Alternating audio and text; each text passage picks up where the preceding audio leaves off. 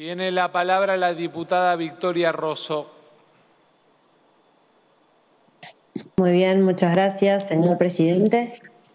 Eh, muy bien, bueno, el 2 de enero del 2020 se decidió prorrogar el presupuesto 2019 con las adecuaciones pertinentes. En el día de hoy venimos a tratar eh, una nueva ampliación, eh, tratándolo mediante una ley como la que estamos haciéndolo ahora y no mediante un DNU. Dicho presupuesto había sido confeccionado en el 2018 con supuestos que quedaron muy desfasados eh, de nuestra actualidad. No solamente porque la crisis económica previa y las dificultades presentadas por la pandemia nos llevan a esta revisión, sino porque en aquel proyecto se reflejaban intereses totalmente contrapuestos a los, que, a los del presente gobierno donde el interés de aquel presupuesto era el del, endeudamiento frenético eh, y no el de la sostenibilidad, donde frente al casi 20% del presupuesto que se destinaba a la carga de deuda, hoy el gobierno logra avanzar en la liberación de esos recursos. Un presupuesto que en el 2018 le negó a mi provincia de San Luis, igual que en el 2017, lo que se le debe por derecho, que es el pago de las sentencias judiciales firmes a su favor.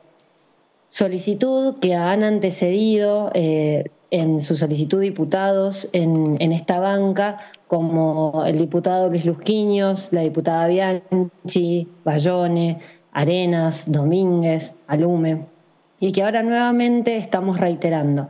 tanto por escrito como ha sido mi caso, como también otros miembros del bloque que lo han citado lo han solicitado en comisión. Es por eso que celebramos que se reconozca en esta ampliación de presupuesto y esperamos que también se incluya para los presupuestos eh, del año entrante, atento a lo que establece el articulado de, este proyecto.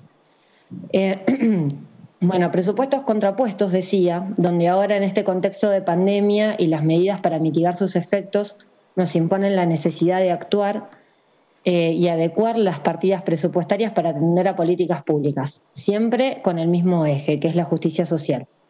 Es por ello que creo que también tenemos que remarcar la asistencia al transporte, donde el Estado Nacional emplea sus recursos a favor de la gente, porque estos recursos que se crean en el fondo no son solamente para las arcas estatales, sino que van directamente afectados al bolsillo de los trabajadores y las trabajadoras esenciales que se están movilizando ahora para luchar contra el coronavirus y no pueden hacerlo debido a los paros, como fue en el caso de mi ciudad de San Luis, donde quienes tuvieron donde quienes se transportan en el transporte urbano tuvieron que aumentar su gasto hasta en un 500% de transporte en, durante los 20 días de paro.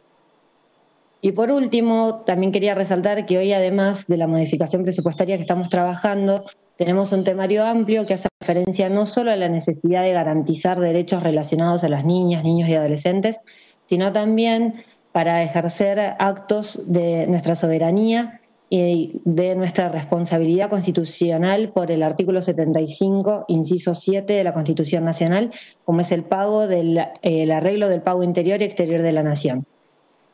Desde el principio de este año se han atendido esfuerzos tanto desde el Congreso como desde el Poder Ejecutivo en este sentido, esfuerzos que hoy se van a ver reflejados